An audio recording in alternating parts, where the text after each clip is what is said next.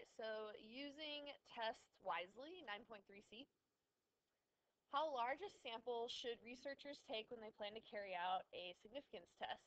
The answer depends on three different factors. You should write these down. The significance level, the effect size, and the desired power of the test. So first of all, write down significance level. This is how much a risk of a type 1 error. So if my alpha is 5%, I have a 5% chance of making a type 1 error. And again, a type 1 error is rejecting the null hypothesis when the null is actually true. So how much are we willing to accept of a type 1 error? So if it has serious consequences, depending on the study, we might opt for alpha at 1%. Otherwise, we're going to choose 5% or 10%. So recall that using a higher significance level would decrease the type 2 error probability and increase the power. So effect size is the second thing. And effect size is how large a difference between the null parameter value and the actual parameter value is important for us to detect. So how far off do we want to be from the null with our actual answer? And the last thing is called the power. This is what chance do we want our study to have to detect a difference of the size that we think is important.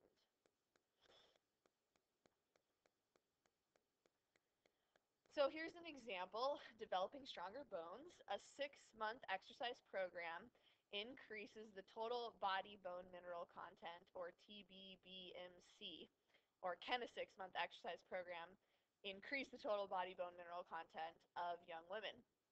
A team of researchers is planning to study and to examine this question. The researchers would like to perform this test. So we have our null hypothesis, the mu, the mean is zero, so there's no real increase, or the alternative hypothesis that there is an increase in bone mineral content. And mean is the true percent change in TBBMC due to the exercise program. So to decide how many subjects to include in their study, so we're trying to figure out what n is, we're going to look at these three questions. So one, the significance level. And so the researchers decide that alpha can be 5% is going to give enough protection against declaring that the exercise program increases bone mineral content when it really doesn't. So a type 1 error. They're going to go with 5% chance of getting a type 1 error. Effect size. So this is from zero. They want a mean increase in the bone mineral content 1% to be uh, important to detect. So I want to know if it's off by 1%. So if I was at zero, at least be off by 1%. I want to detect that as, um, yeah, there's an increase. Okay. And three is the power. The researchers want a probability of at least 90%. This is the power that a test at the chosen significance level will reject the null hypothesis um, that the mean is zero if the truth is actually one. So this is our chances of getting our alternate as true if we're off by one. So everybody turn to page 590 in your book. And we're going to do this activity online that talks about power and it'll help us to understand. So in this activity, you're going to use the statistical power applet in the book's website um, to determine what our sample size is going to be.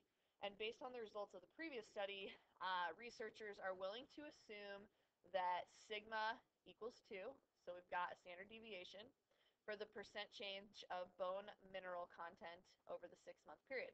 And we'll start by seeing whether or not 25 subjects are enough. So I'm going to go to this website and plug in these values.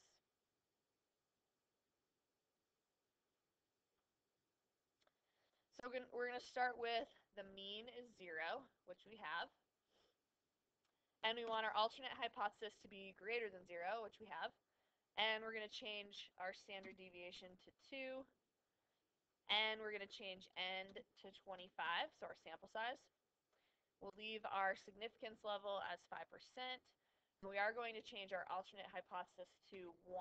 So if it's um, our null is 0 and the truth is really 1, how likely are we to get that? Okay. And so what is the power? So our power is at about 80% right here. Um, so 80% chance that we get the alternate correct. All right. Um, change the significance level to 1%. So I'm going to change alpha to 1%. What effect does this have on the power of the test to detect that the mean is 1? So this is the truth right here. Our mean is really 1 what's the power of the test? Well, now it's only 57%. So when I had a significance level of 5%, I had a higher power. So when I decrease my significance level, I also decrease my power. Um, so the next part, part three, says the researchers decide that they're willing to risk a 5% chance of making a type 1 error. Change the significance level back to 5%. Okay. Now increase the sample size to 30. What happens to the power? So I'm at 25. I'm going to change my sample size to 30. What happened to my power? It also increased. So if I increase my significance level, my power increases. If I increase my n, my power also increases. So keep increasing the sample size until the power is at 90%.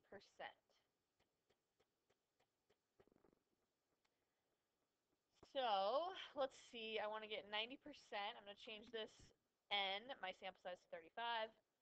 Click update, and we've got our 90%. So if I increase my sample size, I can increase my power. If I increase my alpha, I can increase my power. Um, so number five, would the researchers need a smaller or larger sample size to detect a mean increase of 1.5 in the bone mineral content? So if I change this, so the truth is 1.5, uh, what happens? My power also increases. So notice I moved this number, 0, and 1.5. I have a further distance away, so my power increases. And so I could use a smaller sample size if I wanted to. Wow, a lot smaller. All right, down to 15. Uh, and what about a 0.85%? So if I change this to 0.85, so now I'm closer to zero. Now I only have a power of 50% of getting the alternate correct. And so I'm going to have to change my sample size to a larger sample size if I want to get to 90% of power. All right, so let's review and summarize what we learned from that. So you should write this down. If you insist on a smaller significance level, such as 1% instead of 5%, you're going to have to take a larger sample size. Okay? If you insist on a higher power, like you want a 99% chance that you're going to get it right, uh, rather than 90, you'll need a larger sample. Any or at any significance level and desired power, Detecting a small difference between the null and alternative parameter values requires a larger sample than detecting a larger difference. So that was the last thing, that's the effect size. When we're changing that alternate parameter, um, the further away we get from zero or whatever our null is, um, the harder it is to have the power that we want, so you're going to have to increase your sample size. So another thing, sometimes they ask, what are ways that we can increase our power? If you want to increase power, you can increase the significance level, and you can also increase the sample size. All right, so another side note, sometimes it's not even practical and it doesn't even really matter when we find a difference. So you kind of want to think about what statistical significance means in and also practical importance. So when a null hypothesis, where that's no effect or no difference, so if it's zero, can re be rejected at the usual levels, 1% or 5%, there is convincing evidence of a difference. But that difference may be very small. So when large samples are available, even tiny deviations from null hypotheses will be significant. And so just think about in the context of the problem if it really means that it's important. So here's an example. Suppose we're testing a new antibacterial cream, formulation NS, on a small cut made from the inner forearm. We know from previous researcher that with no medication, the mean healing time, defined as the time for the scab to fall off, is 7.6 days. The claim we made, or we want to test here, is that formulation NS speeds healing. We will use 5% significance level. So the procedure, we're going to cut a random sample of 250 college students and we're going to apply formulation NS to the wounds. The mean healing time was 7.5 days for our sample, and the standard deviation was 0.9 days. So we're going to test the claim that this uh, null hypothesis is 7.6, or that if we use formulation MH, that it's less than 7.6 days. So we do an examination of the data. There's no outliers or no strong skewness, so the conditions for performing the one sample t-test are met. We carry out the test, we get a t-score, we get a p-value, we have our degrees of freedom, and because our p-value is less than alpha, we reject the null and we have convincing evidence in favor of the alternative hypothesis that it's less than 7.6 uh, days. However, the result is not practically important so having your scab fall off one tenth of a day sooner is really not that big of a deal. So just think through the problem. Um, so statistical significance is not the same thing as practical importance. And the remedy for attaching too much importance to statistical significance is to pay attention to the actual data as well as to the p-value. So plot your data and examine them carefully. Are there outliers or other departments or departures from a consistent pattern?